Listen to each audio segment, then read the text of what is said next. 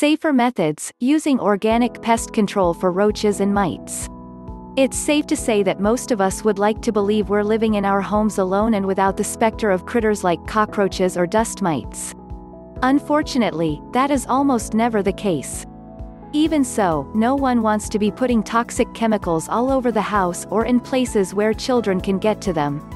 This gives the idea of using a method or organic pest control for these critters better standing. Yes, in fact, it's possible to use organic methods to rid your house of these unwanted pests. For cockroaches, you'll begin your organic pest control by carefully cleaning your house, including the bathroom and the kitchen. Vacuum the carpeting well and dispose of the vacuum bag in a sealed plastic bag. Wash target areas very well with a strong soap and water. One of the tricks of organic pest control is knowing that roaches are fond of high places. You'll want to use boric acid borax, and put it above the kitchen cabinets if there is a space between the cabinets and the ceiling. If not, put it as high as you can. Roaches will take the boric acid non-toxic to humans unless eaten, by the way, and will take it back to their nests, killing scores of the little beasts. Keep the boric acid away from pets and small children. Another trick of organic pest control for cockroaches is the fact that catnip acts as a natural repellent to the insects. Catnip contains nepetalactone, a chemical that is non-toxic to human beings. It will keep the cockroaches away from any area you leave it around. Don't let your cats get into it, however. A completely safe and organic way to kill roaches is using a spray bottle of soapy water on them whenever you see them. They don't like it and it kills them cold.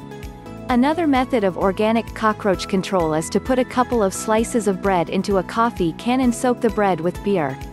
Put the can around where you have a lot of roaches. Also use bay leaves, cucumber slices or garlic in high-risk areas, which are excellent deterrents. A hedge apple, placed one in each room will deter roaches for up to two months.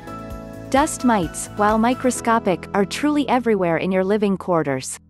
Many people are allergic to dust mites. Fortunately, there are organic pest control measures you can take. Begin by dusting everything and by vacuuming the mattresses and pillows. You can buy special dust mite bedding that has zippers and allergen blocking encasings. Continue your organic pest control by washing the bedding in very hot water.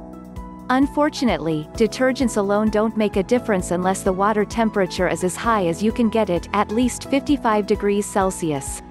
If you have an allergy sufferer in your home, keep out stuffed animals, throw rugs and laundry hampers out of the bedroom area. Bookshelves with lots of books aren't a good idea either. Another organic pest control trick is to neutralize the allergic component of the bugs with tannic acid. It works for animal dander, too. They make tannic acid powder and you can find them at pet stores and health food places.